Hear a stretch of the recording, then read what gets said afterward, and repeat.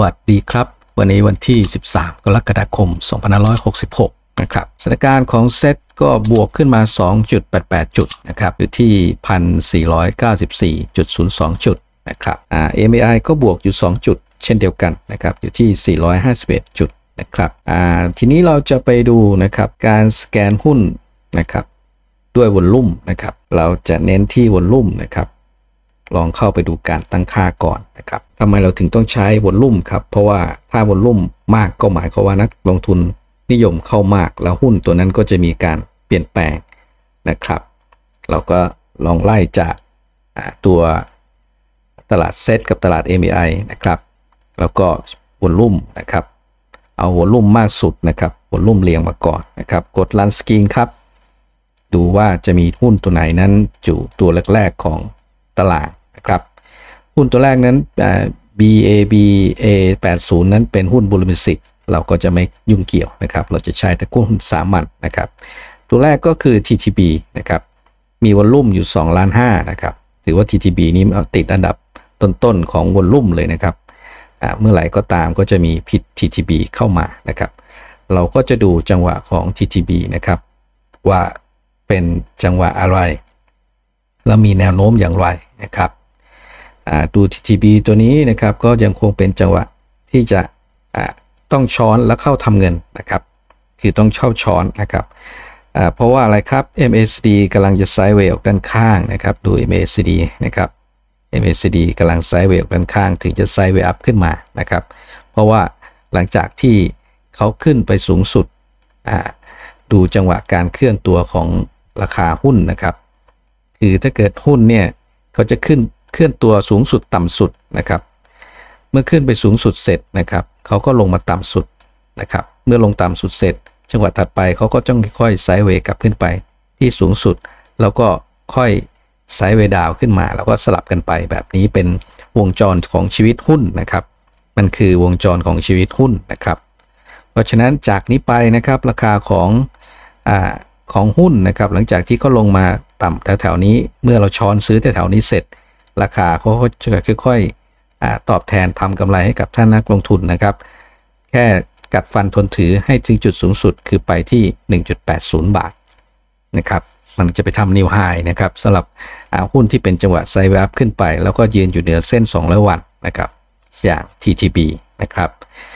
เห็นได้จากอะไรครับ RSI กำลังจะชี้ขึ้นนะครับ RSI กำลังค่อยๆ sideway ขึ้นไป เช่นเดียวกับ MACD นะครับ แม้ว่า volume วันนี้เข้าเพียง 295 billion นะครับ เข้าไว้แค่ 295 billion ดูเหมือนว่าจะมีแรงขายแรงเทขายด้วยนะครับ แต่ก็ยังคงเป็นจังหวะไซด์เวอัพขึ้นไปนะครับ จังหวะถัดไปคือหลังจากที่เขาลงมาต่ำเสร็จ แต่แต่เส้นล่างสุดเสร็จเขาก็จะไซด์เวย์กลับขึ้นไปนะครับ ก็ต้องกัดฟันทนถือให้ถึงที่มันเป็นจังหวะทำกำไรขึ้นไปถึงสูงสุดนะครับทนักทุนครับ วันนี้นะครับเขาก็มี value อยู่ 3 0 0แสนนะครับ แล้วก็มีวอลลุ่มอยู่2ล้าน5โดยที่ราคาปิดที่ 1.53 นะครับ ราคาต้องอยู่ในกรอบนี้คือ อันนี้คือของจริง ส่วนอันนี้คือของอที่ก่อนจะปิดหน้านั้นนะครับ สแกนได้นะครับ เพราะนั้นตอนนี้ราคาปิดอยู่ที่ 1.53 นะครับ ซึ่งเป็นแนวรับแล้วก็เป็นสัญญาณโดจิที่ดูเหมือนว่ากำลังจะตัดสินใจว่า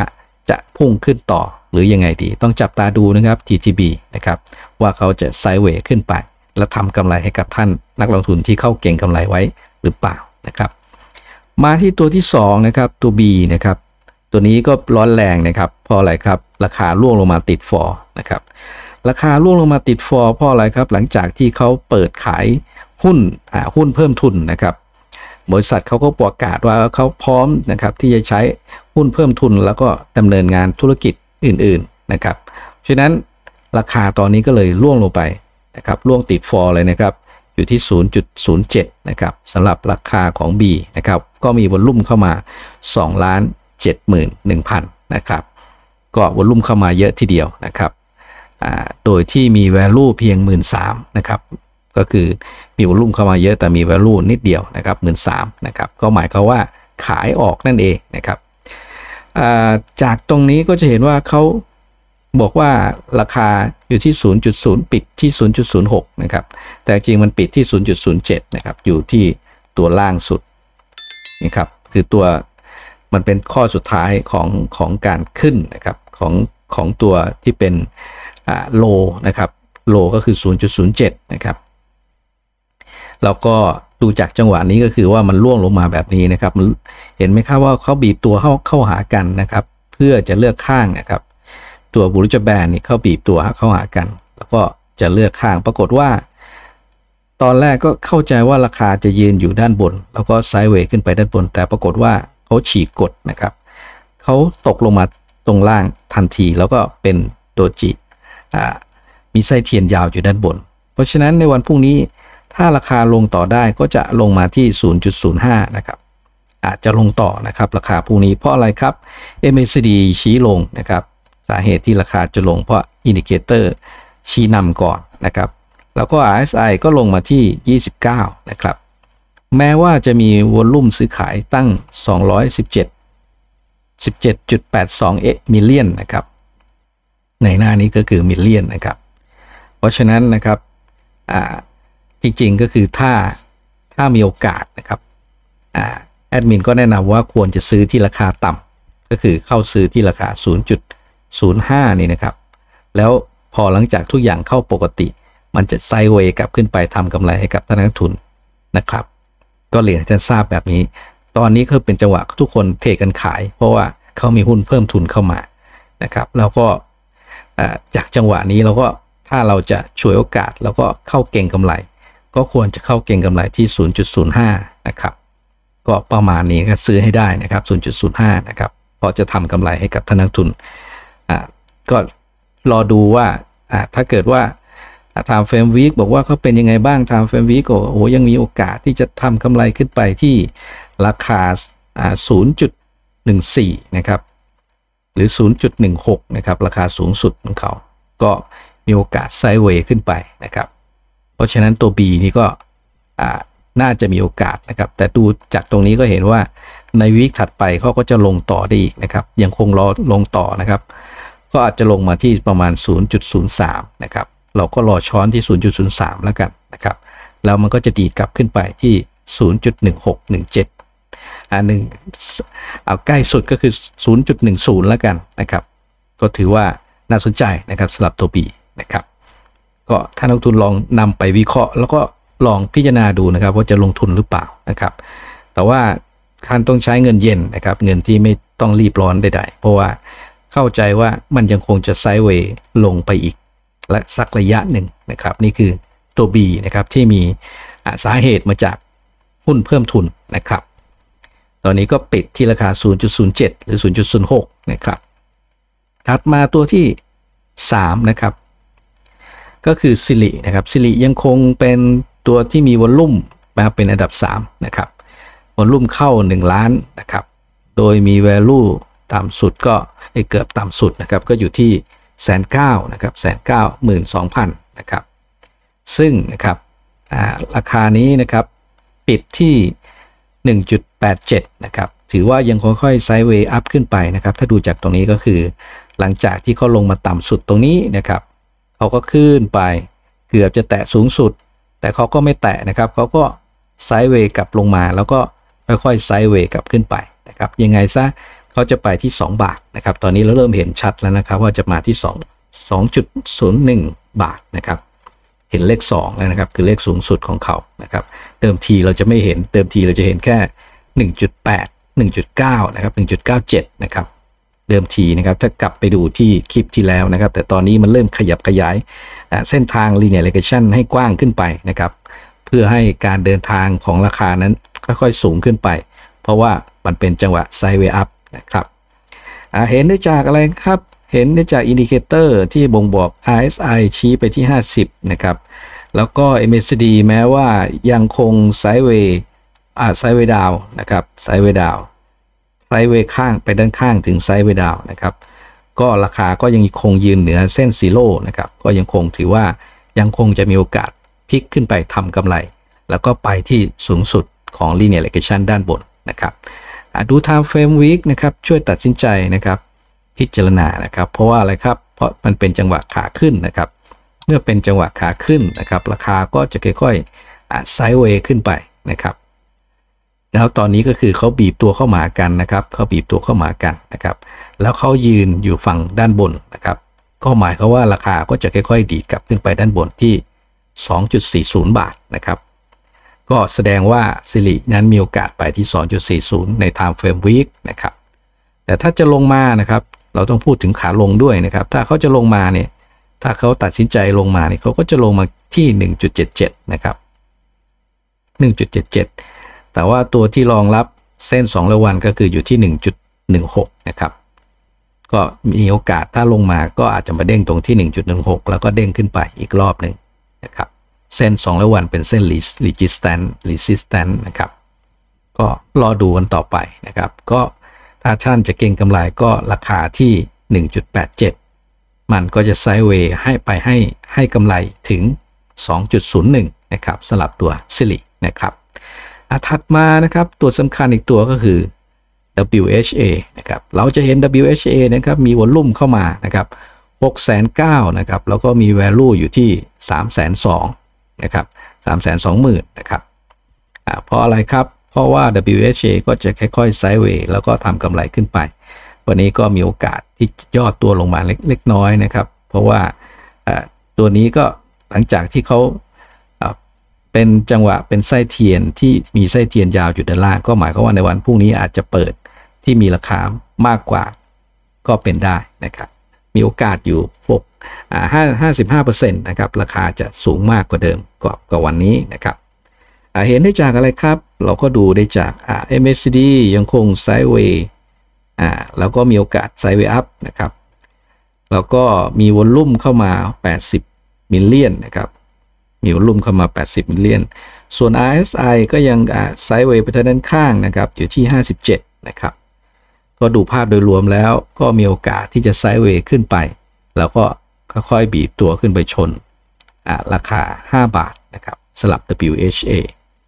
ก็มันก็เริ่มบีบตัวเข้ามากันแล้วนะครับสลับปูริชแบนพอบีบเข้ามาแล้วราคามันยังไซด์เวย์อยู่ด้านฝั่งบน ก็ ยังคงยืนอยู่เหนือกว่ากึ่งกลางบริจแบนราคาก็จะค่อยๆทำกำไรให้ให้เพิ่มขึ้นเรื่อยๆนะครับ ถ้าเราดูจาก time frame day แล้วยืนยันด้วย time frame week นะครับว่าโอกาสที่จะขึ้นไปที่ราคา 5 บาทนั้นก็มีโอกาสนะครับ เพราะว่าจุดสูงสุดก็มันอยู่ที่ 5.20สำหรับ time frame week นะครับ เพราะนั้นช่วงจังหวะนี้ก็เหมือนกับการกำลังตัดสินใจนะครับ เป็นโดจินะครับ ของวีคนี้นะครับ กำลังจะวิ่งขึ้นวิ่งลงนะครับ อยู่ระหว่าง 4.83 นะครับ แล้วก็ต่ำสุดก็ 4.72 นะครับ ก็ 4.72 ขึ้นไปถึง 4.83 นะครับ ก็สวิงขึ้นสวิงลง แต่ว่าโดยภาพโดยรวมนะครับ จะเป็นไปตามจังหวะ MACD นะครับ ที่ยังคงชี้ขึ้น ราคาก็ยังคงไซด์เวย์ขึ้นไป โดย RSI ไซด์เวย์ออกด้านข้างนะครับ นี่คือจังหวะของ WHA ใน Time Frame Week นะครับ ส่วน time frame day ก็ยังคงไซด์เวย์ต่อขึ้นไปต่อได้อีกนะครับ แม้ว่าวันนี้จะมีแรงขายนะครับถัดมาครับนุสาอีกตัวหนึ่งตัวที่เป็นกระแสนะครับ จะสังเกตว่าหุ้นแต่ละตัวที่มันที่มีวอลลุ่มนี่ก็จะเป็นกระแสนะครับ มีข่าวนะครับ ตัวนี้ก็มีข่าวนะครับ ข่าวเกี่ยวกับการล่วงลงมาหลังจากที่ตอนแรกก็คือไป ตอนแรกคือซื้อซื้อที่เยอรมันนะครับซื้อไป 600 ล้าน แล้วก็ปรากฏว่าเปลี่ยนใจแทนที่จะไปซื้อโรงแรม ก็ก็เลยไม่ซื้อก็เลยไปซื้อบริษัทซะเลยนะครับก็คือก็ได้เงินกลับคืนมาเป็นบริษัทแล้วก็ไปซื้อ ตอนนี้ก็คือเห็นว่าตกลงซื้อกันเรียบร้อยแล้วนะครับ เพราะนั้นแน่นอนว่าอของนุสานี้ก็มีการติดหนี้หรืออค้างชำระของอีกบริษัทหนึ่งอยู่ คือติดหนี้ กี่ยวกับค่าก่อสร้าง แต่ว่าตัวคือที่ดินที่ค่าก่อสร้างนั้นซื้อมีมูลค่ามากกว่านี้นะครับ สมมติว่าตรงนั้นมีประมาณพันห้าร้อยไร่นะครับ ขายพันห้าร้อยไร่มันจะได้อยู่ห้าพันกว่าล้าน แต่ก็มีหนี้อยู่พันกว่าล้านนะครับ เพราะฉะนั้นอันนี้ก็ก็ถือว่าเป็นหนี้นิดหน่อยนะครับ ถ้าเกิดขายถ้ายังไงถ้าเกิดขายโครงการนั้นไปก็เอามาหักลบกบหนี้ก็ยังได้กำไรตั้ง สามพันกว่าล้านนะครับ เพราะฉะนั้นก็ยังคงไม่ต้องเป็นกังวลนะครับกับท่านนักทุนนะครับ ถึงตอนนี้ถ้าเกิดท่านจะช้อนก็ช้อนได้นะครับ จังหวะของเขาก็คือเขาลงมาที่ linear regression ต่ำสุดเรียบร้อยแล้ว ทีนี้เขาจังหวะถัดไปเขาก็จะค่อยๆไซเวย์หลังจากที่เรียกร้องอความน่าเชื่อถือต่างๆ ของบริษัทออกข่าวออกมานะครับว่าจะซื้อจะซื้ออตึกที่เยอรมันนะครับ จากเขารู้สึกว่าเขาเป็นตึก จะไปทำเป็นโรงพยาบาลอะไรสักอย่างนะครับ เป็นคือจะซื้อแล้วก็จะไปผ่านเป็นโรงพยาบาลนะครับ ก็ประมาณนี้นะครับ ประเด็นก็คือว่า ตอนนี้ก็ถือว่านุสาก็ คือถ้าเกิดเป็นคนทั่วไปก็ไม่น่าไว้วางใจ แต่ว่าถ้าเป็นคนวงใน ถ้าเกิด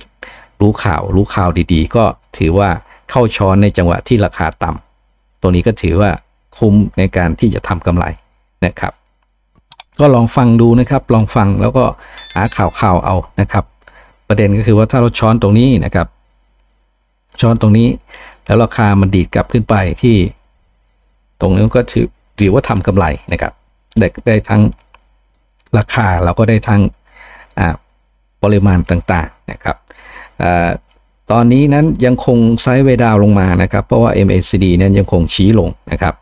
เราก็รออีกสักระยะหนึ่งก็ได้นะครับ ดูว่าเขาจะลงไปต่ำที่เท่าไหร่นะครับต่ำที่สุดเราก็เข้าซื้อที่ต่ำที่สุด เพราะว่าซื้อในขณะที่ทุกคนทุกคนกลัวนะครับ แต่ว่าบริษัทนั้นยังคงประกอบกิจการได้ แล้วก็ดูเหมือนว่าจะทำกำไร ก็รอดูว่าเขาจะทำกำไรขึ้นไปได้อีกกี่เปอร์เซ็นต์แล้วราคามันก็จะดีดพุ่งขึ้นไปอีกนะครับฉะนั้นถ้าเราดูจากตรงนี้นะครับ เราก็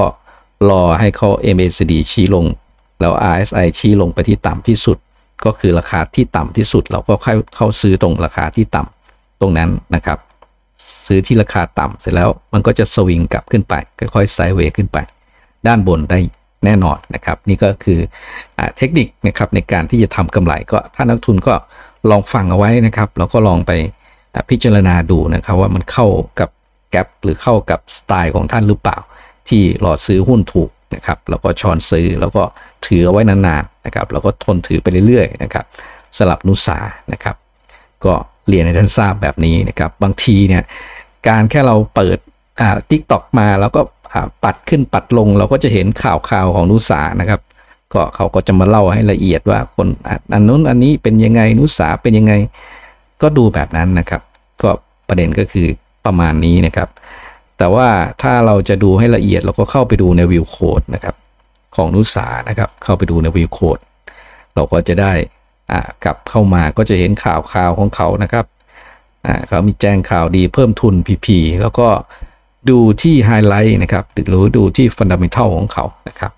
เขาก็ลบลงไปตั้งเยอะนะครับ 3 เดือนที่ผ่านมาลบไป 46%นะครับ1เดือนที่ผ่านมาก็ลบไป 31%และ1อาทิตย์ที่ผ่านมาก็ลบไป 29%นะครับไม่มี PE ไม่มี yield นะครับแล้วก็มีการติดลบนะครับ ก็ตัวนี้ก็ต้องอ่าคือต้องตั้งใจในการที่จะเขาเรียกอะไรครับ เป็นถ้าท่านจะเอากำไรจากอ่าจากการการอ่าปันผลก็คงไม่ได้นะครับ ก็ต้องเล่นกำไรจากราคาหุ้นนะครับ ว่าจะมีโอกาสได้ราคาทะยานกลับขึ้นไปที่เดิมหรือเปล่านะครับ ตอนนี้ตอนล่วงลงมาจากราคา 80 กว่าสตางค์นะครับ ตอนนี้ก็อยู่ที่ 52 52 สตางค์นะครับ ก็พิจารณาดูนะครับธนาทุนครับไปดูราคาเก่าของเขาก็ได้นะครับเขาล่วงลงไปจาก 60 70นะครับ71 สตางค์นะครับลงไปเหลือ 55 เหลือ 52นะครับก่อนจะดีดขึ้นมา เพราะฉะนั้นทางทุนก็ลองพิจารณาดูนะครับว่า โอกาสที่เราจะเข้าไปช้อน แล้วก็ช้อนในที่ต่ำแล้วก็ราคามันก็จะค่อยๆ ดีดกลับขึ้นมานะครับ ก็คือนักลงทุนโดยมากเขาก็จะไม่มองอะไรเขาจะมอง ต้องมองให้ลึกๆ แล้วดูให้เป็นนะครับว่า ถ้าเกิดเราทำกำไรกับฟื้นคืนขึ้นไปได้นะครับก็มันก็ดูเหมือนง่าย ๆนะครับกำไรนะครับแต่ว่าถ้าบริษัทเขายังคงยืนอยู่ได้ และเขายังคงทำธุรกรรมต่อไป แล้วก็น่าจะทำกำไรได้นะครับ เพราะฉะนั้นราคาก็น่าจะดีดกลับขึ้นไปได้ไม่ยากเย็นนะครับ ก็รอดูต่อไปนะครับ นี่ก็คือทั้งหมดทั้งมวลที่เรานำมาแค่แกะเก่าให้ท่านได้ได้รับทราบนะครับ ในการที่ จะลงทุนหรือว่าจะหาหุ้นที่น่าพอจะเล่นหรือน่าพอจะช้อนนะครับ ท่านก็ลองพิจารณาดูนะครับ ถ้าเกิดท่านชอบใจกรุณากดแชร์ กดถูกใจกด subscribe กดกระดิ่งแจ้งเตือนกันนะครับแล้วก็กราบขอบพระคุณสลับท่านสมาชิกที่กรุณาเห็นใจนะครับ กดสมัครสมาชิกเข้ามาเป็นสมาชิกรายเดือนนะครับกราบขอบพระคุณอย่างสูงนะครับ ไว้พบกันในคลิปถัดไป สวัสดีครับ